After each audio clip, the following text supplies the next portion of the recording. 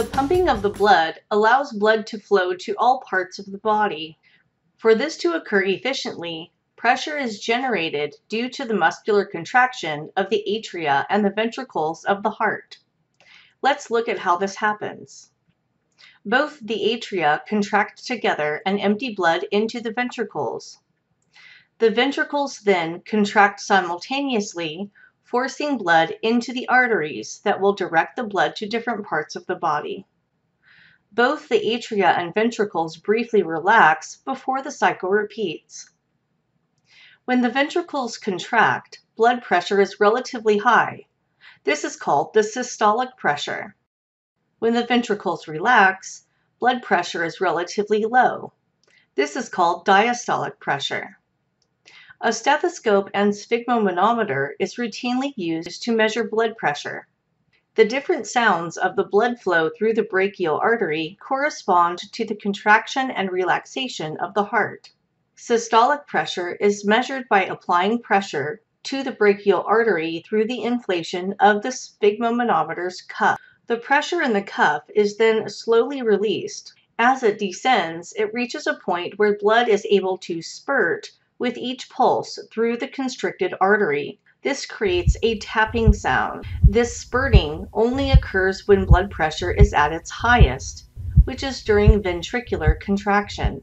Diastolic pressure is measured after continuing to let the air out of the cuff.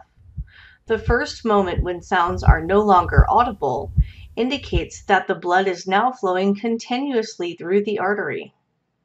This gives us the diastolic pressure.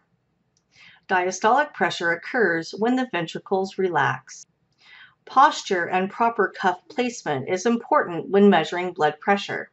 If the patient is not seated in a relaxed position with the arm level to the heart, the blood pressure reading can be artificially high. Also, if the blood pressure cuff is too loose, the blood pressure reading will be artificially high as well. The patient should be seated with their feet flat on the floor. The patient should ideally rest quietly for 5 to 10 minutes before beginning. The forearm should be relaxed with the palm facing upward, resting on a table or desk that allows the arm to be around heart level. Next, locate the brachial artery pulse by gently placing your index and middle fingers on the inside of the elbow. Look for an arrow or line on the blood pressure cuff that should be lined up with or point to the pulse from the brachial artery. Wrap the cuff around the upper arm so that it's snug but not too tight. A good rule of thumb is you should be able to slip one finger under the blood pressure cuff, but not two. The cuff should have direct contact with the skin.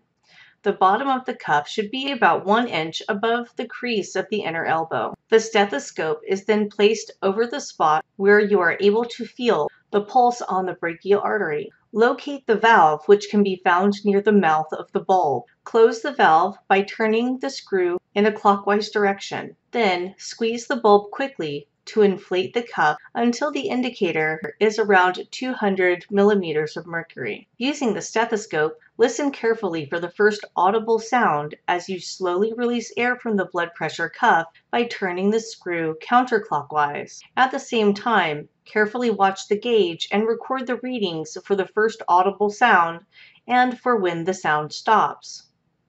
The first audible sound is the systolic pressure which is the top number of blood pressure. When the sound is no longer audible, this gives us the diastolic pressure, which is the bottom number of the blood pressure. Thank you for watching.